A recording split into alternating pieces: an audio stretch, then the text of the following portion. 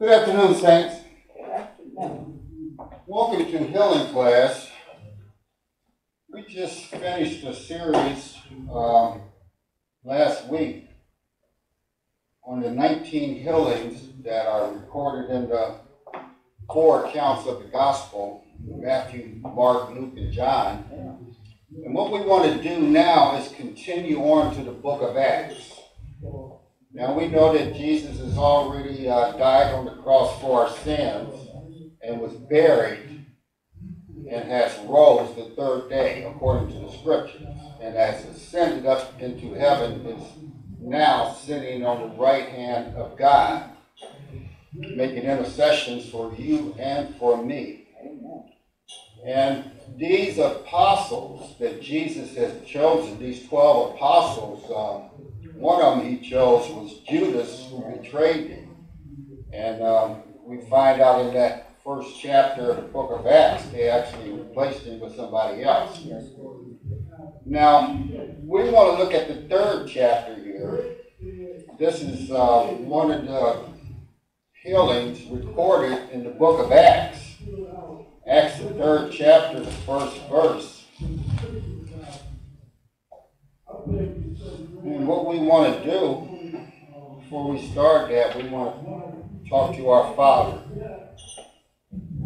uh, the God of Abraham, Isaac, and Jacob. That's the God we're talking to tonight. We thank you for letting us come over here and get your word out to the people. We thank you just for using us. It's not because we have did anything special and we haven't made no mistakes or nothing like that. We're just as normal as anybody else on this earth.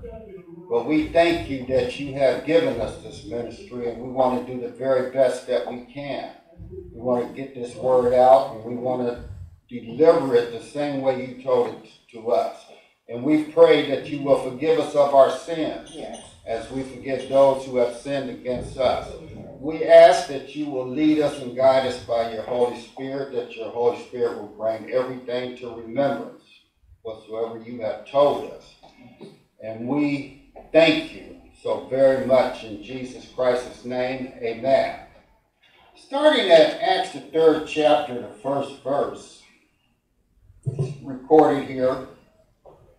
Now Peter and John were going up to the temple at the hour of prayer, the ninth hour, three o'clock p.m. And a man who had been unable to walk from birth was being carried along, whom they used to set at set down every day at that gate of the temple, which is called Beautiful, so that he could beg alms from those entering the temple.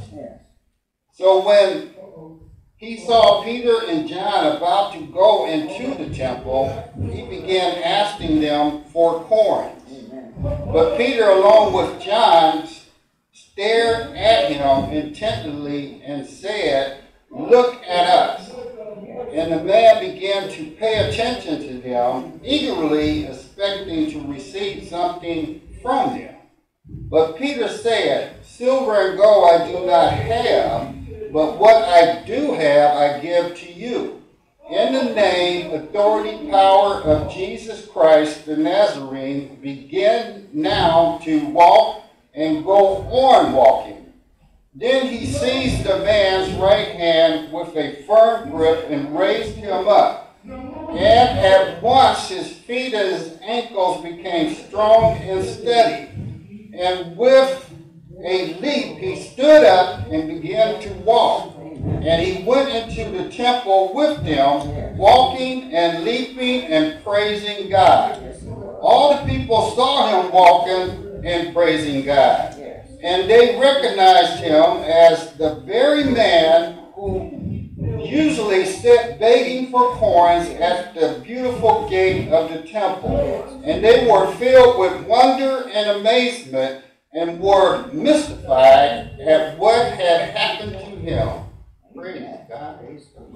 Now, we see here in this first verse, goodness, yes. Tell it. Peter and John was going up together into the temple at the hour of prayer. Yes. Now, Peter, we first uh, saw Peter in the Gospels when he got called into the ministry. And what Jesus was doing, he was teaching that day, and he asked, there were so many people that he asked Peter, could he use his boat, you know, to get away from, you know, a little bit from the shore so they wouldn't trample him Mhm. and, and teach. And then once he got through teaching, uh, he told Peter um, to go back and, and catch some fish. Right. And Peter was thinking, well, I have been fishing all night and I haven't caught anything. Right.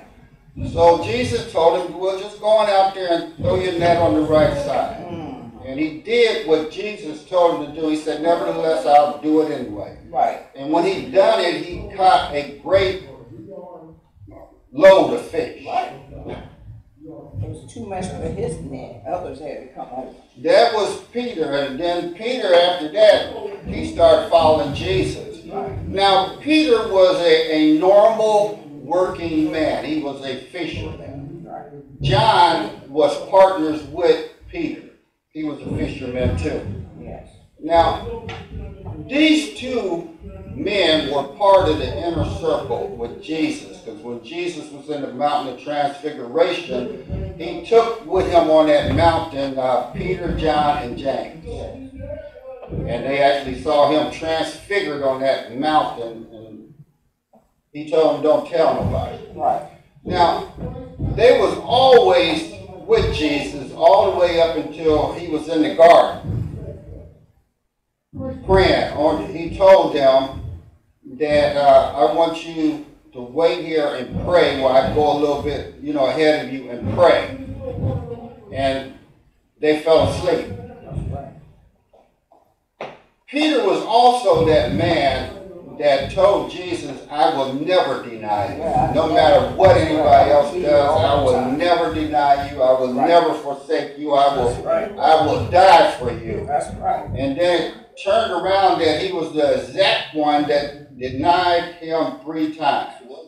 He was cussing when people said, aren't you the one that was with Jesus? And he was just, no, I wasn't. No, I wasn't. Told the little girl no. But after that, after Jesus had risen from the dead, he restored Peter back. He forgave Peter. And in uh, John, the 21st chapter, Yeah. verses 15 through 17, Mhm. it says, So when they were eating breakfast, Right. Jesus said to Simon Peter, Simon, son of Jonah, Right. do you love me right. more than these?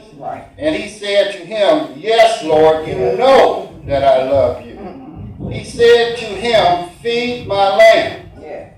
He said to him again a second time, Simon, son of Jonah, do you love me?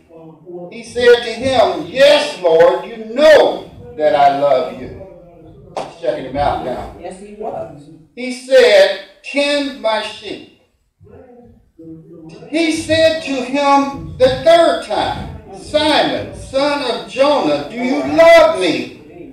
Peter was grieved because he said to him the third time, Do you love me? And he said to him, Lord, you know all things. You know I love you. Jesus said, Jesus answered and said, Feed my sheep. Amen. See, this is what a shepherd is supposed to do, is feed the sheep. Yeah. He's not supposed to be feeding them hot dogs and, and uh, french fries or hamburgers or nothing like that. No kind of uh, material food. He's supposed to be feeding them the word of God.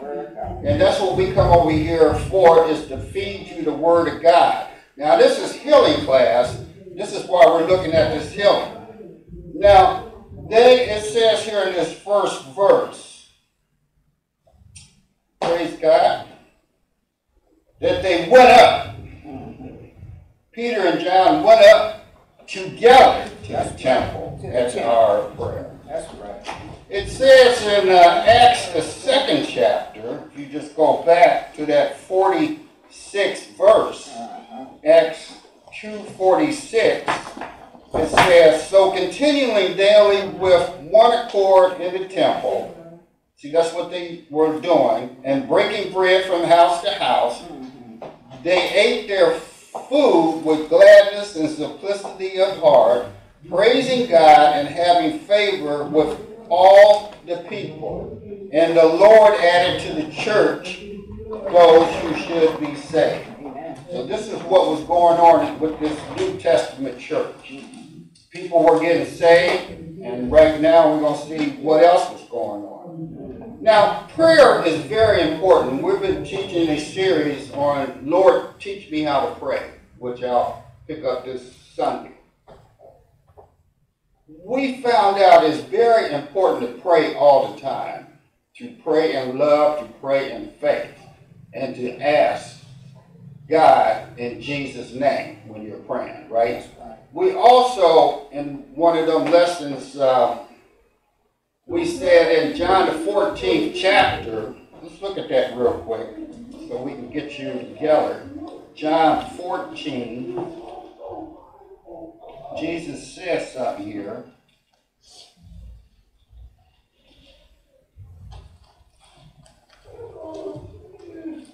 In the 12th verse, John 14, 12, he said, Verily, verily, I say unto you, he that believes on me, the works that I do, he do also, he shall do also, and greater works than these should he do, because I go unto my Father.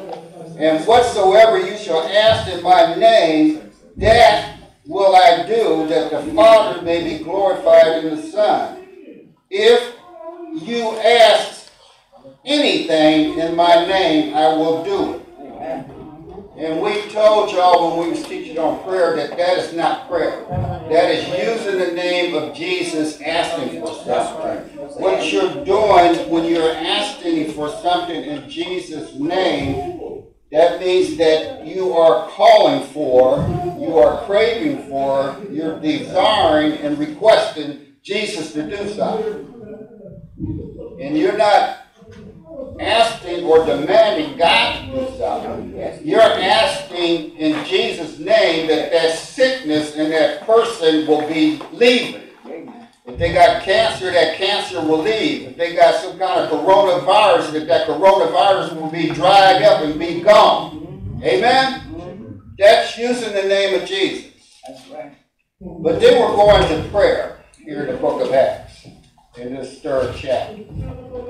And while they were going to prayer in that second Acts 3, verse 2, see how it reads.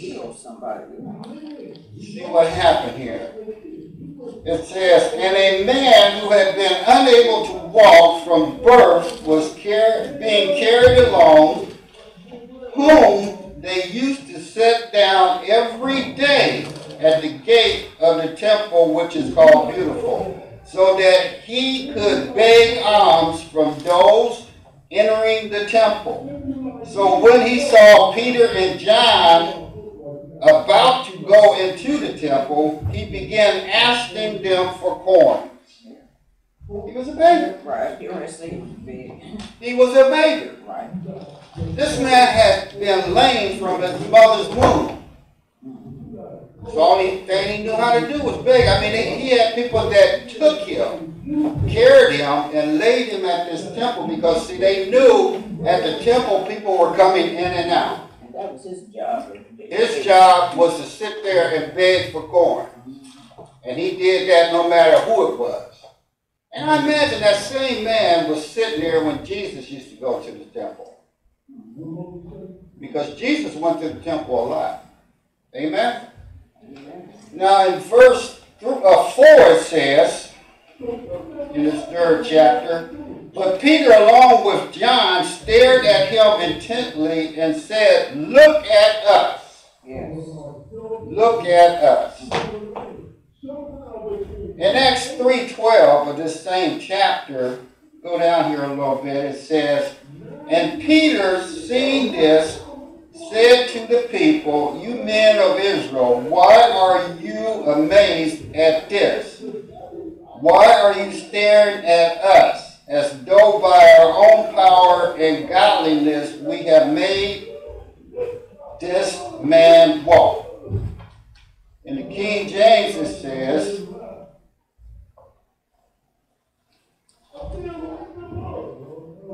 in the King James it says, so Peter this is Acts three twelve.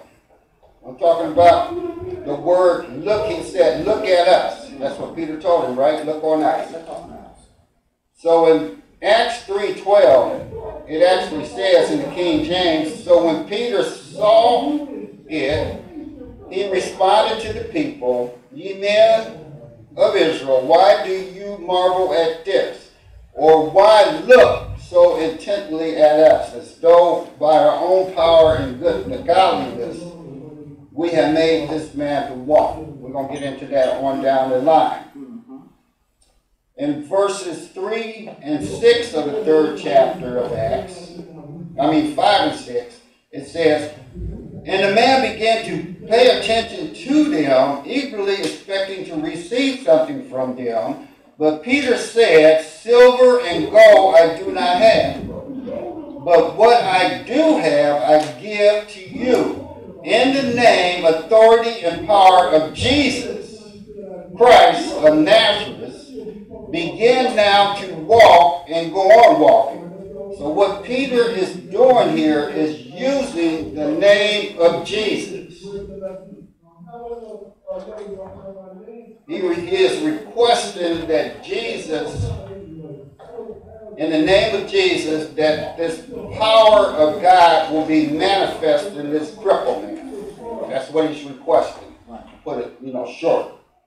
Now we see in um, 2 Corinthians, it says something here. This is Paul talking as far as about the silver and gold. Because it isn't that Peter and John didn't have no silver and gold. They didn't have it with them that day. Amen? Now when you look at 2 Corinthians, the 8th chapter, this is a chapter talking about giving. We're going to hit a couple of verses here. Verse um, 8 12. In the second Corinthians, the 8th chapter, verse 12, it says, Second Corinthians, what chapter? the 8th chapter, verse 12, it says, For if you eat, for if the eagerness to give is there, well, let's go up here a little bit. I missed the verse. Go up to the ninth verse. The ninth verse says, For you are recognizing more clearly the grace of our Lord Jesus Christ, his astonishing kindness, his generosity, his gracious favor, that though he was rich, yet for your sake he became poor, so that by his poverty you might become rich, abundantly blessed.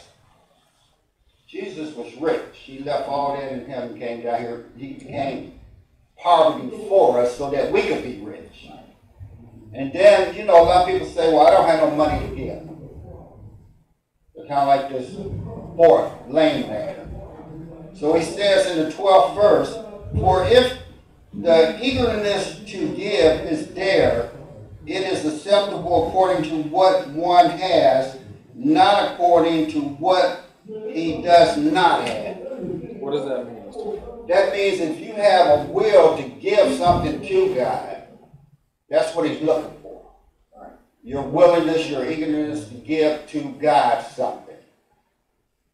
And it's not based on according to what you have. You You may not have that much money. I can't see.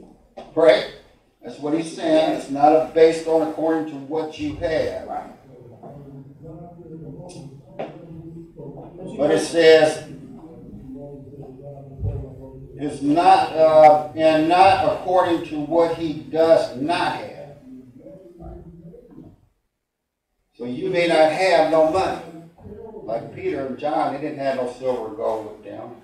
But what they had, that's what they gave to this And, and. lame man. You know what, not to break you off, but you know that's true. We, we've been, uh, we were under some pastors that were, really had faith and believed like this. Mm-hmm. And you remember when we would need something in the church, they would, uh, tell people to make a pledge. Right. And it seemed like we always came up with that money. Everybody did. Cause they Well- pledged in faith Mm-hmm. that that's what they were gonna do, and it was for God, you know, what they were doing. It was to help somebody. Whether it was to feed somebody or whatever we were doing. And you pledged. See, this is very important that And you still get it. you may not have as much money as somebody else. Mhm. This is why, uh, God in His Word says that you're supposed to give a tenth, Mhm. a tithe, what you do have. That way, if everybody gives a tenth of what they do have, have, everybody is given equally. Right. Yeah, Whether it's but a you tenth or a thousand dollars, or a tenth for one hundred thousand dollars, or a tenth of a dollar, or a tenth for you ten dollars. Right, right, a tenth of a dollar. You know, still 10 giving You know, It to God, right. it's and that's what He's looking at, is your heart. And still equal to everybody else. We work Right. at a million, it's still equal for It's the still equal. ten. But what happens a lot of times, people that have a lot, they don't give a tithe, No, they don't. they give an offering. And that's, that's enough. Right. And they never get blessed. They don't. Now here in this third chapter, the seventh verse, it says, That's my money. Mhm. after he said, uh, in the name of Jesus Christ of Nazareth, he's using Jesus' name. In that sixth verse, he's using Jesus' name. And then in the seventh verse, then he seized him by the right hand and with a firm grip and raised him up. Right. Hold on. And at once his feet and his ankles became strong and steady. Now, they were acting just like Jesus. Where'd you just read it? He was reading out the second. That's- that's Corinthians, Acts. eighth chapter. I was in Corinthians, now I'm back in Acts. Okay, you gotta give us a chance to read it with you. Okay, well, we're in Acts, the third chapter, keep your finger there. We probably won't be going no other places, well, you know, we don't know what the Spirit gonna do here tonight. But anyway, what, this is a perfect example of what Jesus was talking about in John, the fourteenth chapter, that the works that he did, we will do the same works. Yeah, we will. If you ask anything in my name, I will do it. This is exactly what he's talking about. They was right there listening to Jesus when he was saying that. They were in the school of Jesus when he said that. Just like you are being told right now that you're supposed to do greater works than what Jesus did. Because he said, if you ask anything in my name, I will do it. That means you have that same power. And as a believer, you don't have to turn here, but in Mark 16, 17, he said, And these signs, signs will follow those who believe. In my name they will cast out demons. They shall speak with new tongues. This is, are you a believer? And see, a lot of people like to say, well, this was an apostle.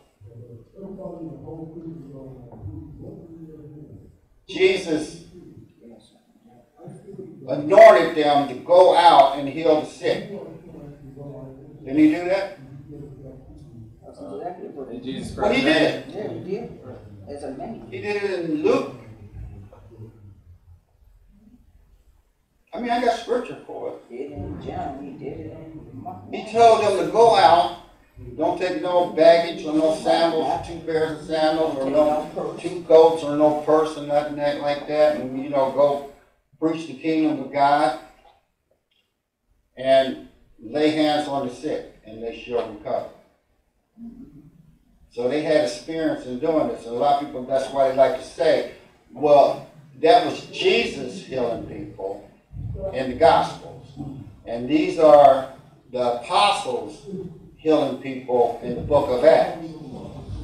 But now, in the time we live in, healing has passed away because there's no more apostles. Did you ever hear that?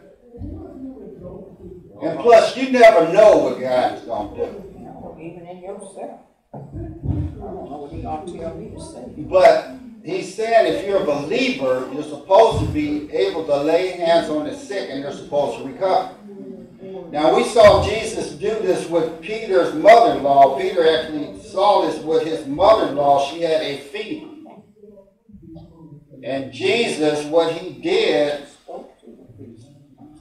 he took her by the hand and lifted her up. And immediately the fever left her. That was in Mark. And then in Luke, it says that he actually spoke to the. Right. So this is an exact example. They spoke to this crippled man told in the name of Jesus, and they took him by the hand and raised him up. So that's acting just like Jesus, right? amen. They was taught. We see here in the next verse, um, let's look at verse eight in the book of Acts, the third chapter. And with a leap, he stood up and began to walk. And he went into the temple with them, walking and leaping and praising God. You know, when Jesus healed this man in the fifth chapter of John, this man who was sitting at the pool, he was up there by the temple too on one of those porches. Right, And uh, Jesus asked him, Do you want to be made whole? Right. And he went off. Well, I don't have nobody Told a little when the water is troubled to put me in, and before I can get there, another one steps in before me. A lot of people use excuses when it comes to healing. I don't have nobody to take me to the doctor. I don't have nobody to come over here and see me. I can't make it to church. Well, I know a woman that had an issue of blood. She wasn't even supposed to be out on the street, and she made it to Jesus. Amen. This is, you know, people, the reason we're teaching healing so much on every Tuesday of every week, because people have got a mindset, they have got a polluted, degenerated mind that is not God's will for them to be healed. The reason they have that because it's been taught on the pulpits for decade after decade after decade. And they got it in their mind. It's just like if you sit up and watch the news enough, or you listen, listen sit up and watch a certain TV show too much, or you listen to a certain um, speaker on TV, what's going to happen to you? You're going to start believing what they're saying, and then eventually you're going to start talking like them. They're driving the faith right out of it. And what it does, It do. it, that's what, say it again, what does it do? Drive faith right out of it. It takes faith to be healed. This crippled man had faith Amen. because when they said, look on us, he looked at them. Right, He was expecting to get something. right, He wanted some money, but he was, whatever they was gonna give him, he was gonna take. right, So he took that healing. right. Amen. Now in uh, verses nine and ten, for that third chapter, I, I'm the reason I laugh because some people are trying to push education on you, and say you could do a lot better and have a lot more, if you can just go to school and get all these degrees. And you still don't get nothing. we're gonna get into The that Lord, in, uh, in faith uh, class on Saturday. Education can only get you so far. That's right. You got to be in Christ. I thought I You got to be in God. That's what gets you far when you're in Christ Jesus. That you believe that He is your Lord and your Savior. He is Lord of Lords, Kings of Kings. He is the Alpha and the Omega, the beginning and the end. It's only through Jesus Christ that you can get to God. Amen. That's why He said, when you pray, pray, Our Father right. who art in heaven, Right. how be thy name. And then he says in the 16th chapter, when you ask the Father Father in my name, he will do it. It's very important. You know, a lot of people say they like to get so technical. They say, well, in the Bible, uh, the King James says God, but in uh, the Jewish Bible and in the Quran it says Allah. It's the same God. Right, In the English translation, they didn't have a word for God. right. So they use God with the big G. Right. We say it's our Father. Mhm. And I say it's the God of Abraham, Isaac, and Jacob, so you don't get it mixed up with none of them other guys. right, It's the only true and real God. Right. This is who we stand behind. He is in front of us. Don't get in front of him. No, you don't want to. Lord. And anyway, this man in this fifth chapter of John, he, he kept complaining about he had nobody put him in the water and all that. Right. Jesus told him to pick up your bed and walk. Just get up. And he picked up his bed and started walking. Right, And he didn't, Jesus, you know, left him and the Jews asked him, well, why are you carrying your bed on the Sabbath day? He said, a man named Jesus told me to pick up my bed and walk. Yes, So what Jesus did, he located him in the temple later on. Mhm. And he told him, when Jesus found him in the temple, he said to him, See, you have been made whole. Sin no more, lest the worst thing come upon you. That's exactly what it says. See, a lot of people get healed and they go right back into that same lifestyle, him and then something worse comes up. Right, Let's look at this Acts third chapter, these uh, next last two verses. It says, uh, All the people saw him walking and praising God, and they were recognizing him as the very man who usually sat begging for coins at the beautiful gate of the temple. amen. And they were filled with wonder and amazing and were mystified at what had happened. This should be happening right now. yes, you should. We're still living in the book of Acts as Jesus has got, we're in the same dispensation of the church. That Peter and John was in the church. Right, If you read chapters one and two, Yeah, you'll see that's what it's talking about. Because in verse 2, I read you that, that the Lord, as to the church as such, should be saved. So he's still adding to the church. He added this triple man to the church. Now let's get some detail about this, because when you're praising God, I'm going to read a couple of scriptures here, you don't have to. Praising God is very important when he does something for you. Give him the glory. You know, a lot of people like to say when, you know, when they get into a good position on the job, or when they complete their college degree and go into um, an apprenticeship or whatever, they say, you know, I did this myself. They haven't did nothing themselves. It was only because of the grace of God that they made it through school. God. And it's only because of the grace of God that they got that position. And it's only because of the grace of God that they stay in that position. Right, They don't give God the glory at all. They give their self the glory. Right. I did this. I pulled myself up by my own bootstrap. they did nothing. No, you didn't.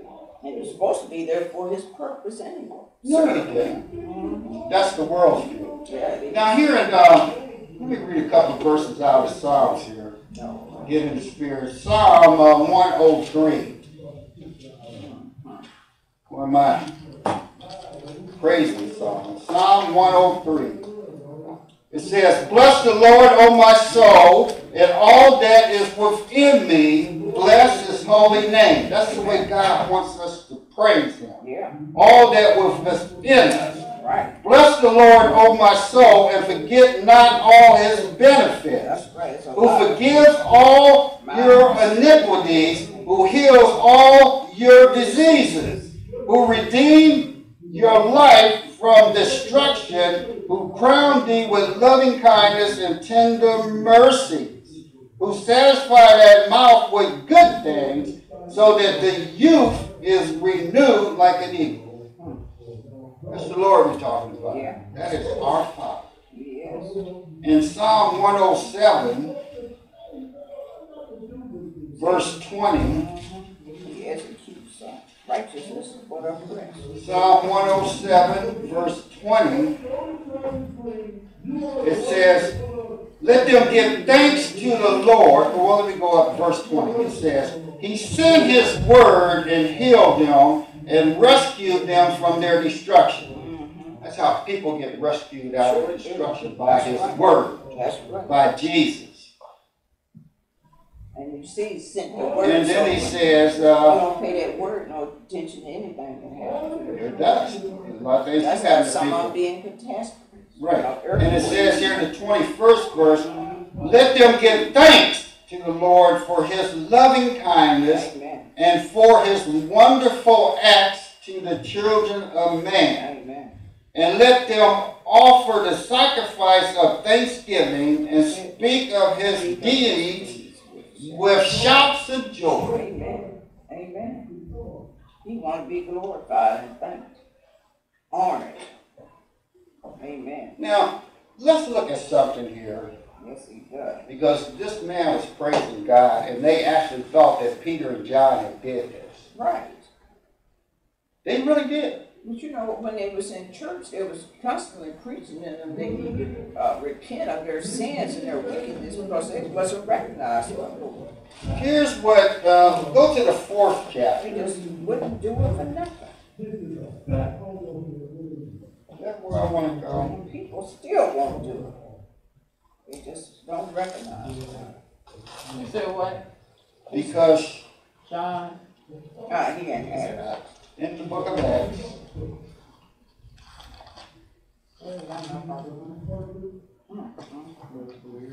Why you just, Because it, it's standing even in that last verse in Acts, uh, three, the twenty-sixth verse, it was, well, first of all, God raised up his servant Jesus and sent him to bless you by turning every one of you from your wicked ways. You know, just, um, wickedness. well, we read down to verse 10. Yeah, we did. So, verse 11, let's read a little more.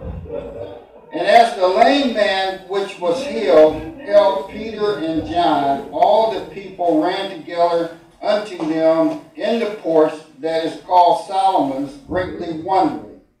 When Peter saw it, he answered unto the people, Ye men of Israel, why marvel ye at this? Or why look so honestly on us as though by our own power and holiness we have made this man to walk. The God of Abraham, Isaac, and of Jacob, the God of our fathers, has glorified his son Jesus, whom you delivered up and denied him in the presence of Pilate when he was determined to let him go. But you denied the Holy One and the just, and desired a murderer to be granted unto you, and killed the Prince of Life, whom God has raised from the dead. Wherefore we are his witnesses. And in his name, through faith, in his name, has made this man strong, whom you see and know. The faith which is by him has given him this perfect soundness in the presence of you all. That's what happened. And now, brother, he goes on to say, he runs it on down a little more. But here in the fourth chapter, uh, something that's important that we want to close up on here tonight. 413 of the book of Acts. I want you to see something here. First is, um, y'all want to do some reading here? Uh, yeah, what verse? Verse 13 through 22, read that out of the book of uh, Acts, the fourth chapter. Chapter 4, verse 13 to 22. Okay, there we go. Well, let me make a comment here because what happened when this happened, they actually um, came and got them. Yeah, there was many. They arrested them. Right. Because they Go ahead. told them off. Go ahead, he was, he was preaching them.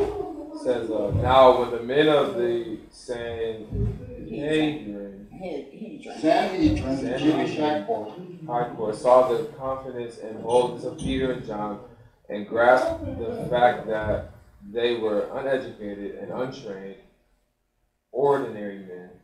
They were astounded and began to recognize that they had been with Jesus. And seeing the man who had been healed standing there with them, they had nothing to say in reply. But after ordering them to step out of the council, they began to confer among themselves, saying, What are we to do with these men? For the fact that an extraordinary miracle has taken place through them is public knowledge and clearly evident to all the residents of Jerusalem, and we cannot deny it. But, amen. But to keep it from spreading further among the people and the nation, let us sternly warn them not to speak again to anyone in this name. So they sent for them and commanded them not to speak as his representatives or teach at all in the name of Jesus, using him as their authority. But John and Peter replied to them, Whether it is right in the sight of God to listen to you and obey you rather than God, you must judge for yourselves. For we, on our part, cannot stop telling people about what we have seen or heard. When the rulers and council members had threatened them further, they let them go, finding no way to punish them because of their fear of the people. For they were all praising and glorifying and honoring God for what had happened. Or the man to whom this sign attesting miracle, healing and had happened was more than 40 years old. Amen. So this happens nowadays. When you're preaching Jesus and you're giving all the glory to God and you're doing things in Jesus' name, they don't want you to speak in Jesus' name. The other two religions of the world, Islam and Judaism. They don't want you to say it's, be, it's in Jesus' name that I'm doing this. It's because of God. I only want you to pray in Jesus' name. And Peter told them, hey,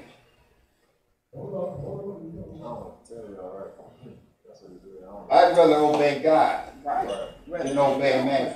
Me. And you see, you got to get this into your your your um, mind first. You got to renew your mind with the Word of God, and you got to start saying what God is saying. And what happens when when you are born again, you have the Holy Spirit inside of you. Right. And then the one reason why they were going to prayer, because when you pray, normally get filled with the Holy Spirit. That fear be gone. The fear goes away. Yeah. See, they were full of the Holy Spirit from the second chapter of Acts.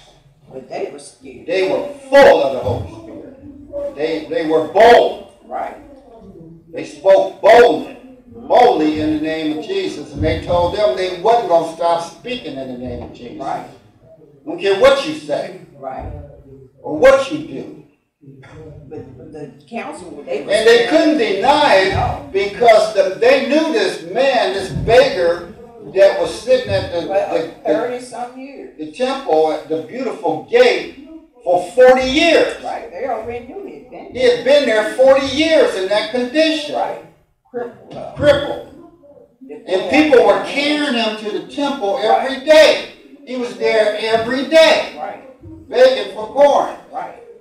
And they say, in the name of Jesus of Nazareth, stand up and start walking and keep on walking and snatch him by hand, pull his foot up and boom! He got strength in his feet and his ankles and everything. He was walking and leaping and praising God and went on in the temple. And they couldn't deny it because they know he was crippled from his mother's womb, He was crippled. from birth. They didn't know what to do. So they told him, don't speak in the name of Jesus no more around here. They threatened him. Mhm. Now look at verses twenty-three to thirty-seven. You wanna read that, sister? I'll read it. It Twenty-three to thirty-seven. Okay, go ahead. Okay, and after Peter and John were released, they returned to their own people and reported everything that the chief priests and the elders had said to them. See, that's, when you, when somebody gets on you about something, what you need to do is get with your own people, So they can pray over you. so they can build you up. Right, Because a lot of tongue lashing, a lot of times will, will wear you down. right. You know, somebody, you know, saying, don't do this, don't do this, are you crazy? What's wrong with you? You have lost your mind? You know, you about the ignorantest person I ever saw in my life, talking about in the name of Jesus. But they threatened that. They did. Okay, go ahead. And then it says, and, and when they heard it, they raised their voices together to God. See, they just mm-hmm. all start praying to God. Right. and said, O sovereign Lord, having complete power and authority, it is you who made the heaven and the earth and the sea and everything that is in them, mm-hmm. who by the Holy Spirit, through the mouth of our father David, your servant said, Why did these nations, Gentiles, become arrogant and rage? And the people despise futile things against the Lord. The kings of the earth took their stand to attack, and the rulers were assembled together against the Lord and against his anointed, the Christ, the Messiah. For in this city there were gathered together against you, your holy servant Jesus, whom you anointed, both Herod and Pontius Pilate, along with the Gentiles and the people of Israel to do whatever your hand and your purpose predestined before the creation of the world. Praise God. To carry and so without knowing it, they serve your purpose. Mm-hmm. And now, Lord, observe their threats. Mm-hmm. Take them into account and grant your bond servants may declare your message of salvation with great confidence while you extend your hand to heal and signs, wonders, attesting miracles take place through the name and authority and the power of your holy servant and son Jesus. Mm-hmm. And when they had prayed, the place where they were meeting together was shaken, Mm-hmm. a sign of God's presence. And they were all filled with the Holy Spirit and began to speak the word of God with boldness and courage. Yes, sir. Now the companies of believers was of one heart and mm-hmm. soul, and not one of them claimed that anything belonged to him was exclusively his own, but everything was common property and for the use of all. And with great ability and power, the apostles were continuously testifying to the re- resurrection of the Lord Jesus in great grace. God's remarkable loving kindness and favor and all goodwill rested richly upon all. And there was not a needy person, get a load of that, not a needy person among them, Right. because those who were owners of land and houses were selling them and bringing the proceeds of the sales and placing the money down at the apostles' feet. And then it was distributed to everyone, to each as anyone had a need of, to each as anyone had need. Now Joseph, a Levite, a native of Cyprus, was surnamed Barnabas, and the apostles, which translated means son of encouragement, sold a field belonging to him and bought the money and set it at the apostles' feet.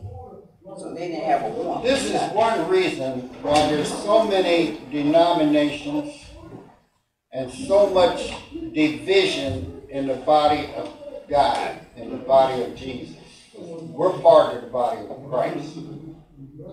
Because Christ is the head the church. Jesus is the head of the church. We are the body. What the devil has done, he has separated the body. And so that we can't get together to do nothing. That's Good example. People are oppressed. You got this over here, you got this one here. Oppression. You go out that door, they go out that door, they don't even talk to you. They don't even speak. It shouldn't be that way. No.